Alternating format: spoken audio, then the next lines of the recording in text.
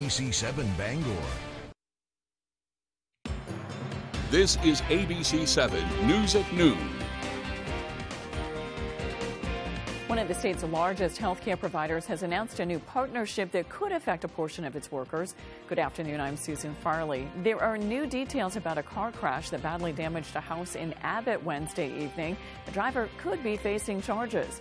And the city of Belfast is expecting costly repairs after that late December storm that devastated the coast. Thank you for joining us. We'll have more on these and other stories in just a moment. First, let's check in with meteorologist Devin Biggs. Devin?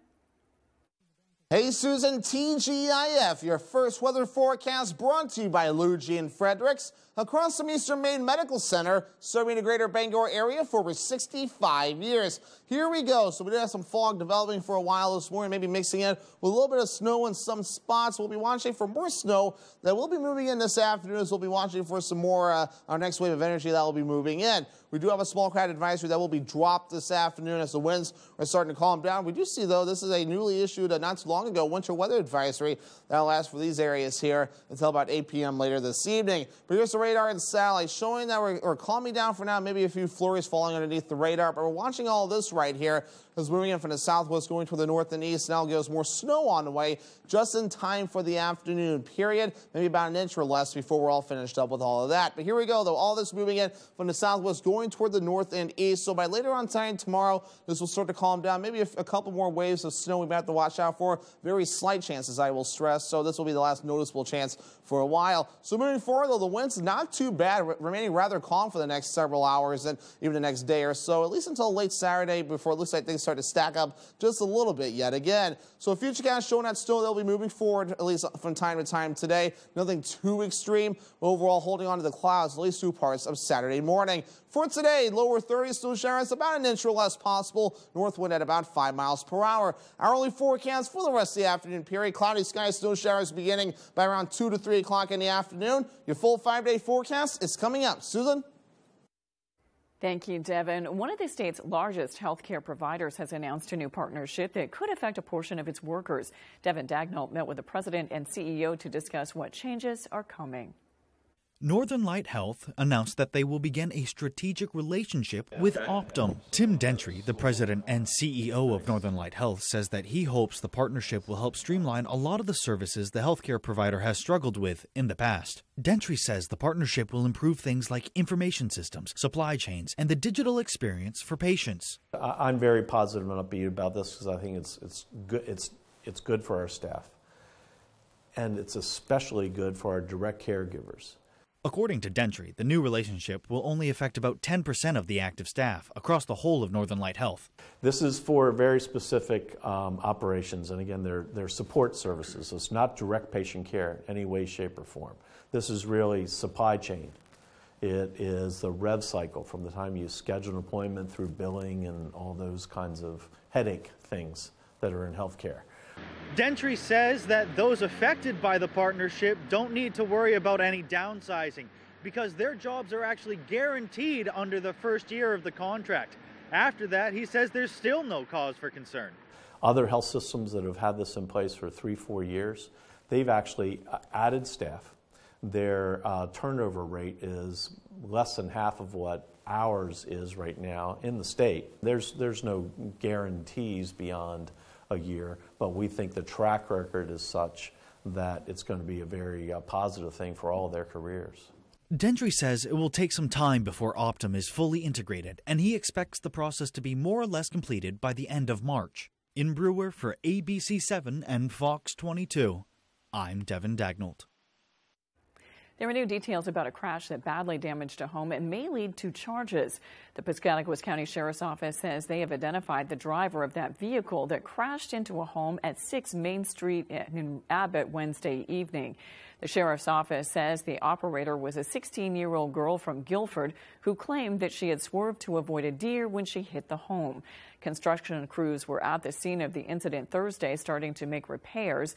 According to the sheriff's office Facebook page, deputies responded to what they called a hit and run incident along the main road at 4:40 p.m. Wednesday, in which a vehicle appeared to be traveling at a high rate of speed before crashing.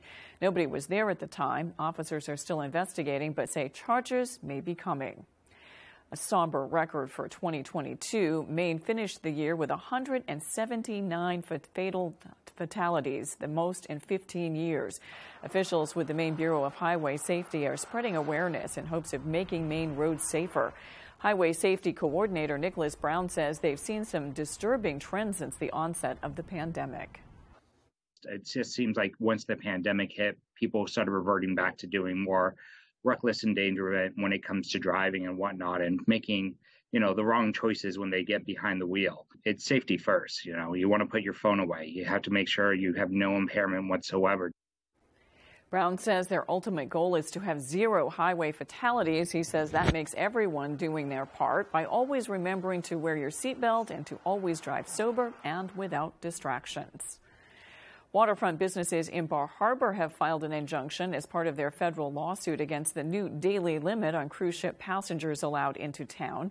In November, Bar Harbor voters approved a limit of 1,000 incoming passengers per day to the popular tourist destination. The lawsuit states 2,000 to 4,500 passengers normally disembark daily during the cruise ship season. Fish Main Restaurant Group co owner Krista Bond says the limit would be devastating to businesses that rely on the town's strong tourism industry. We'll start with we'll probably have to close earlier and open later. We'll probably have to employ less people. Um, you know, the list goes on. If I'm employing less people, there's less people in town spending money. You know, I, I mean, the trickle down is real. Bond says the businesses have filed for an injunction with the hopes of putting these new rules on hold while the lawsuit plays out. The purpose of that is to uh, keep everything the status quo while the judge is going through and trying to determine his decision, um, so that hopefully the cruise ships next year can stay as they are scheduled. Uh, we're hopeful that the judge will understand that um, it's going to cause immediate irreparable harm if all these ships don't come next summer. Bond says the business owners were shocked and disheartened by the vote by Bar Harbor residents who say they're fed up with congestion during the busy summer months. As of now, the judge has yet to make a decision on the motion for injunction. The city of Belfast is expecting costly repairs after that late December storm that devastated the coast. David Ledford has the story. It was a big storm. We've seen them before. We'll see them again, uh, but we'll make do.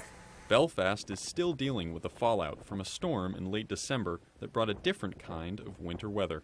According to city officials, the cost to repair city owned property, including docks and boathouses, and clear debris from the powerful storm that hit on December 23rd could cost as much as $120,000. Belfast Fire Chief Patrick Richards says the significance of the damage is due to the city's proximity to the ocean and a lack of an effective coastal defense. We sustained some very heavy winds, high winds, uh, a lot of uh, impact from the ocean, uh, the sea level rise. Anything that comes from the ocean, we, we suffer uh, quite a significant uh, impact. There's just no protection there. While a large portion of this debris was cleared before the start of the new year, many docks are still stacked up on nearby land, waiting to be repaired. Richards says this has impacted the fishing and boating community the most, but does not expect summer tourism to be affected.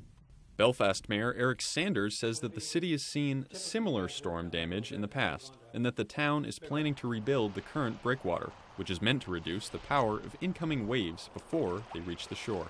Sanders says that rebuilding the breakwater to be both taller and longer could cost an estimated $11 million.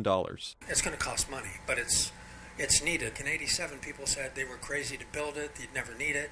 And I was down there that morning on the 23rd, and you couldn't even see it. In Belfast, David Ledford, ABC 7, and Fox 22. Coming up on ABC 7 News at noon, 10 rural libraries across the state of Maine have received funding in order to make telehealth appointments more accessible. We've got the details when we return. With AAA insurance, by bundling our home and auto policies, we saved over $450. And we were shocked at the savings. When we switched to AAA auto insurance and bundled our policies, we were able to save over $400 every year. Switch to AAA insurance today, and you could save an average of $483 on auto insurance. Compare that to State Farm, Geico, even Allstate. Call now for your free AAA full picture quote to find out how much you could save. Well, my passion is hang gliding. I've been doing it for over 30 years, and it's like flying. I mean, it's like everything you always dreamed about. AAA insurance helps us save more. And do more. The savings from AAA insurance has allowed me to pursue my passion of making jewelry. It's great to have a little bit of extra cash to do something that you love. To find out how much you could save by switching to AAA insurance, call 866 460 1310 for your free AAA full picture quote today. You'll be glad you did. For the best selection in classic and contemporary furnishings, stop by Richard Parks Furniture on High Street in Ellsworth. Handcrafted New England made bedrooms and dining rooms, imported Scandinavian recliners and upholstery, more than 40 lines of furniture for the home and patio. Richard Parks Furniture is your number one stop for quality, functionality, and well designed furniture at affordable prices. Richard Parks Furniture. Discover Richard Parks. 132 High Street in Ellsworth. Discover when the Granite Shop wants to know the weather on MDI, they log on to foxbangor.com. At the Granite Shop in Sedgwick and in Trenton, we have more inventory than all other shops in the state combined. Fastest turnaround, too. Whenever Maine Wood Floors wants to know the weather, they log on to foxbangor.com. Whether you're searching to add beauty with a new hardwood floor or need to restore your old one, Maine Wood Floors is your hardwood flooring expert in Midcoast Maine.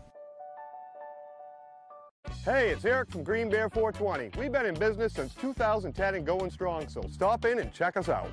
We specialize in glass art by over 100 local artists and even have live glass blowing. Plus, we carry incense, novelties, t-shirts, and hard-to-find items. We have tons of local products for the tie-dye wearing person in your circle of friends. Come see us at 531 Moosehead Trail in Newport. And remember, Green Bear 420, it's not just a store, it's a lifestyle. You're watching ABC 7 Bangor.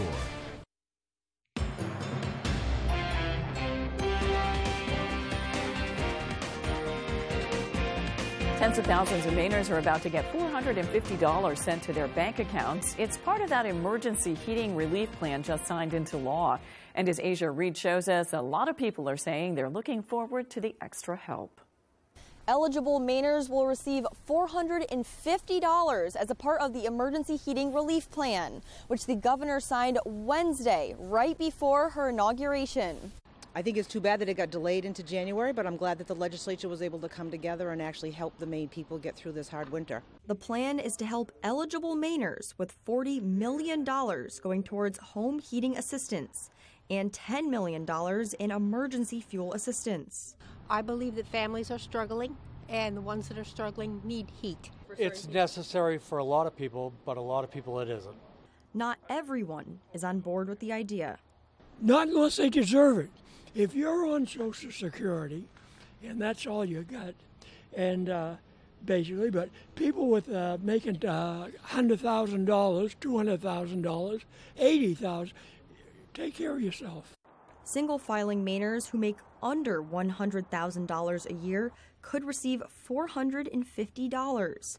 $900 for those filing jointly and making less than $200,000 a year. I think 450 is a good start. I think some folks will always need more. I mean, it's better than nothing. It's uh, that's about half a tank for most little houses these days. It helps. I think perhaps $450 isn't going to go very far this time. $450 would probably buy half a tank of oil, I think, and it would help. I just wonder where the money's coming from. The state says funding comes from surplus money. Governor Mills says about 880,000 residents will get the money. The state says Mainers could receive a check in their mailbox as soon as mid January. The city of Bangor has installed two new electric vehicle charging stations, which are available for public use. The stations are located across the street from the Bangor Public Library and inside of Pickering Square parking garage. Bangor has been working on installing these charging stations since receiving funding from the state's Community Action Grant Program. The new additions bring the total number of city provided stations to four, each having the ability to charge two cars at the same time. Ten rural libraries across the state of Maine have received funding in order to make telehealth appointments more accessible. It's all part of the Maine State Library Health Connect program. That program is supported by funding awarded by the Maine State Library as part of the American Rescue Plan Act. Under the program, selected libraries will offer telehealth appointments free of charge. Residents can set up online, face to face appointments that are held inside of a soundproof private room at the designated library of choice. The Alice L. Pendleton Library in Islesboro, Cary Library in Houlton, Pittsfield Public Library, and the Skowhegan Free Public Library are just a few of the libraries picked for the program. It's a great savings with gas prices almost $4 a gallon here now, um, it saves a lot of money for the patients and a lot of, of time and, and gives them peace of mind that they don't have to travel in the wintertime. Wellington says telehealth patients just need to bring their Zoom ID with them to the library in order to join their appointments in the new spaces.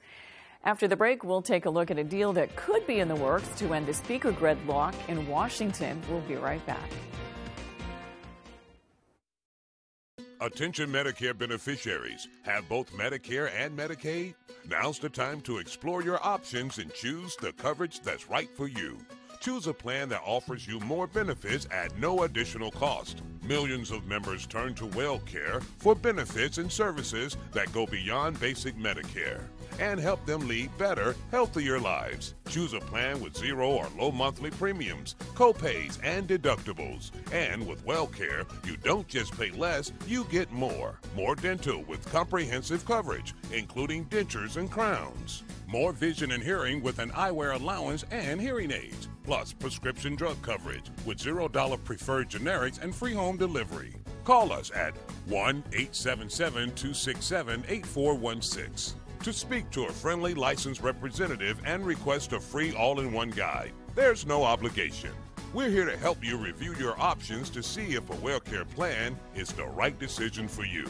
WellCare has a large network of quality doctors and specialists Plus, we offer PPO D-SNPs with the freedom and flexibility to choose your preferred provider in some areas. Enjoy free over the counter healthcare items and free groceries with a healthy food card. Plus, free transportation to doctors and pharmacies and free meals delivered to your home. Get convenient access to care with our telehealth services, including online doctor visits and a free gym membership with online classes. WellCare is a leader in government sponsored health care. It has been serving those with Medicare, Medicaid, and prescription drug for more than 35 years. Call now. We're here to answer your questions and even assist enrolling you over the phone. Choose the company that puts your health first. WellCare, Medicare done well. Call now and get a free copy of our all in one guide. 1 877 267 8416. Jamar Construction Products in Bangor continues to grow to meet our customers' needs, supplying products for site work contractors, concrete contractors, and survey and safety supplies. We are proud to be the local dealer for Hilti, Valley Blades, U.S. Fabrics, and Euclid Chemical, plus so much more. Stop by and see us at 1270 Hammond Street or give us a call at 907 4491. If you dig it, pour it, plow it, fasten it, lay it, or lift it, Jamar Construction Products can help you.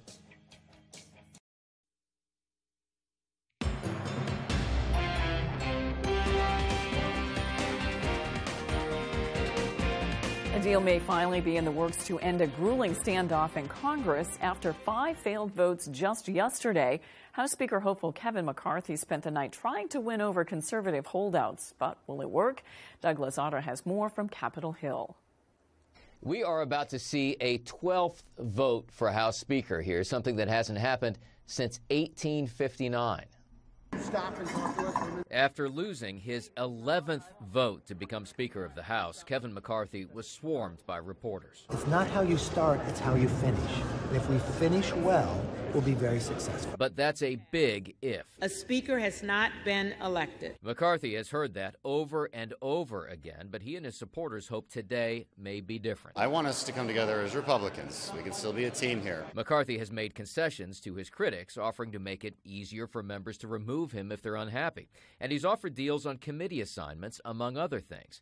And that may be enough to win some support. We have to take this opportunity to make the changes necessary to make Congress work for the American people. But there are a handful of Republicans who say they cannot be persuaded, including Florida's Matt Gaetz, who excoriated McCarthy for already moving into the Speaker's office before he has the job. I would like to know what the basis is to allow somebody to occupy the Speaker's office who comes in second place 10 straight times. Is there like some basis in law or rule or precedent for that? Now, the last time this process played out this long, back in 1859, there were ultimately 44 votes before a speaker was finally elected. Facebook's parent company Meta has been fined millions by the European Union for privacy violations. EU regulators fined the company $414 million for breaches of the General Data Protection Regulation relating to both Facebook and Instagram. Regulators also ruled that the company cannot force users in the bloc to agree to personalized ads on their platforms. Meta said they plan to appeal the fines and the ruling. 2023 is expected to bring about big changes to marijuana laws throughout the U.S. Madeline Rivera has more on where marijuana could soon be legalized. The start of 2023 kicked off more than a new year, with the beginning of some major changes to marijuana laws across the country. Next week, the state of Connecticut is set to launch its first legal sales of adult use marijuana.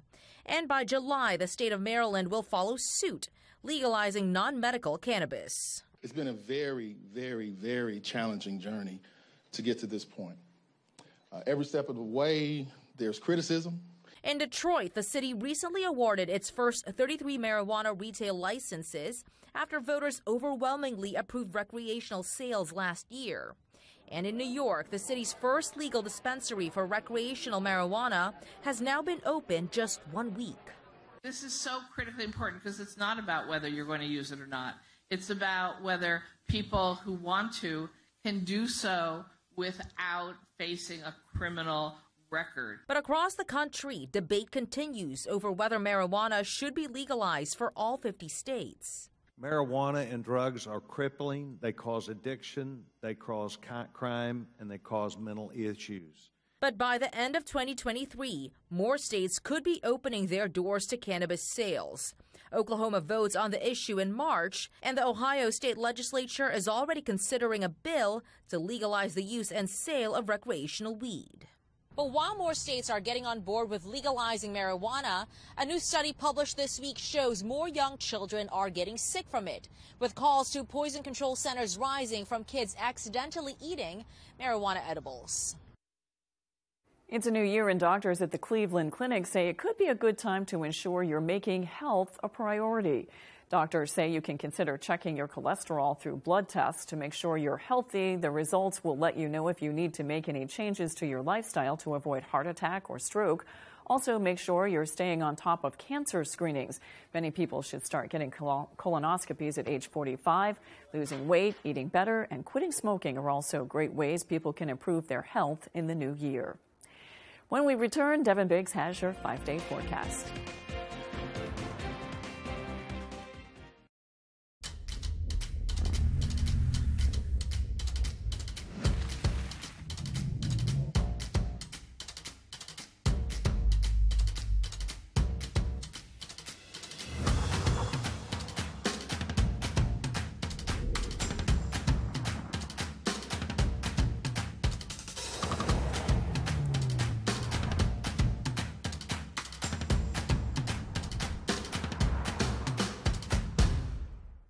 Saliba's Rug Cleaners in Bangor is the best and only spot you should go to for your rug cleanings. Serving Maine for more than 70 years, we care about your rugs. Clean rugs last longer, and our family takes pride in being the professionals that you can trust.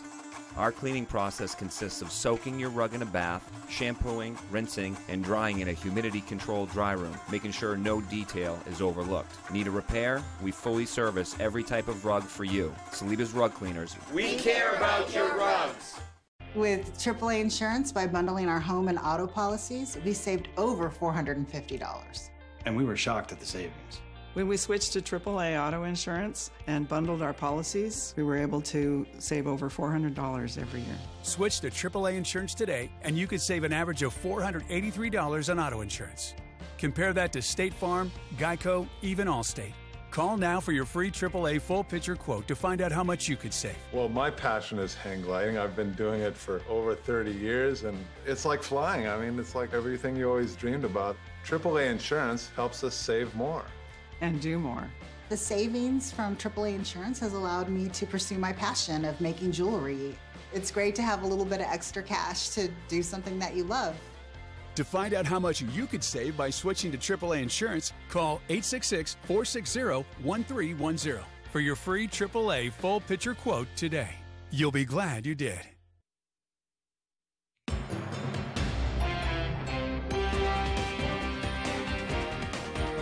Experts are saying there is a once in a lifetime event happening right over our heads.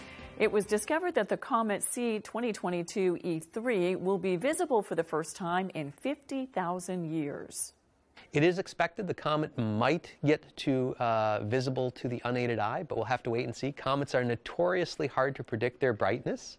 Uh, it really depends on the amount of material that's melted off as it passes by the sun and the interaction uh, with the solar wind uh, will sort of push on that, creating the comet's tail. Shawn Laatsch, the director of Versant Power Astronomy Center, says that for the best results while trying to see the comet, use binoculars on a dark night. He also says to use a star chart to make locating the comet easier. And have you seen this video yet? A Florida teacher showing off her dance moves. The video shows a student dancing, and moments later, the teacher steps in and shows off her moves as the students cheer her on. The dancing challenge happened last month during an exam break at Sumner High Academy 2027.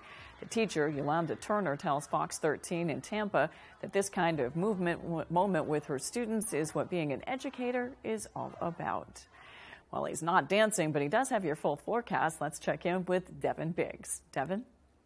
All righty, here we go. We do have some fog that developed for a while this morning, and even maybe some snow flurries mixing in for a few areas. But here's a general idea. Small craft advisory is going to be dropped very soon, but we're also watching this winter weather advisory issued further off towards our south and west here for these areas, lasting until about 8 o'clock later this evening. Nothing in effect for us as any snow that falls won't be too extreme. About an inch or less will be the general idea. It's starting to move it now from the west going toward the east, so during the afternoon period, about 2 to 3 o'clock, we'll start seeing that fall as it does begin to develop and move on in. So here's a bigger picture, though. So we're seeing all this right here. It's dragging off towards the east and a little bit of the north and east. So once we get this through, maybe another, another weaker wave as we head towards your Saturday before things start to calm down later on. So here's a bigger picture, though, as we plot all the fronts. This is from that area, low pressure located right about in here. So on top of that, we have this system here, all this tracking off towards the east. So we have today and a little bit of tomorrow, but things start to calm down, especially as we head towards your Sunday. Futurecast moving forward, though, snow moving in during the afternoon period, starting to calm down for the most part later on tonight. But we're going to hold on to the clouds and maybe some flurries further off towards the north as we get things going for your Saturday. Some uh, that snow trying to seep down towards the south as we head towards Saturday evening, but mainly for our eastern counties. So further off towards the west, the clouds will start to break up. And look at this as we start things off for your Sunday. This is a nice picture with a lot of sunshine that will be on the way. Any snowfall on the way, nothing too ridiculous. This is a big pullback, though, in the forecast, so maybe a little too extreme. So the general idea, I think I'd safe to say, is about an inch or less. And I definitely stress the or less. This is the latest forecast guidance that just came in during our show here. So we're going to be watching for maybe lesser snowfall totals moving through. So we'll at least get to look forward to that. Maybe an inch in some areas, but definitely less in some other spots as well. But temperatures have been warm recently as well. We've had temperatures that have been in the 50s and 40s, which is well above normal for this time of the year. Average high being 29 degrees. We'll reach for the lower 30s today, upper 30s for you Saturday, upper 20s for you Sunday, then back in the 30s again Monday into Tuesday, cooling off again as we head towards Wednesday and also into your Thursday. So for today, lower 30s on way, snow showers, lesser chances for around an inch, but some areas still cannot be ruled out. So half inch to an inch or less before we're all finished up in that north wind at about 5 miles per hour. Tonight, 23 degrees, snow showers early, then becoming mostly cloudy with the wind overall looking nice and calm. And for tomorrow, upper 30s, mostly cloudy, slight chance for snow, especially in our eastern counties later on. West wind at about 5 miles per hour. Here's a look at your extended forecast. So here we go. So mostly sunny on Sunday, highs in the upper 20s. That will feel nice, right? Partly cloudy, then even warmer as we see temperatures in the upper 30s. So maybe a little bit cooler on Sunday, not too bad, but warming back up Monday. And even warmer again uh, still on Tuesday. Snow showers on the way and temperatures in the upper 30s.